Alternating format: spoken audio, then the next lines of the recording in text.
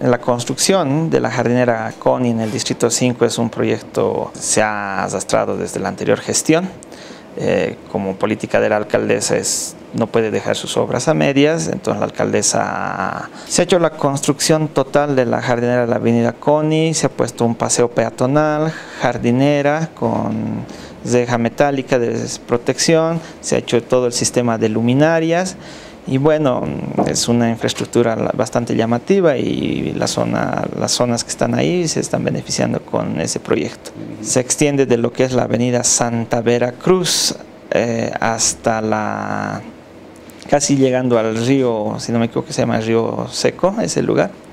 1.500 metros lineales aproximadamente, alrededor de 4.6 millones sumando los, el total del proyecto. Bueno, nosotros solamente ya vamos a programar a través de la subalcaldía del Distrito 5 la entrega correspondiente.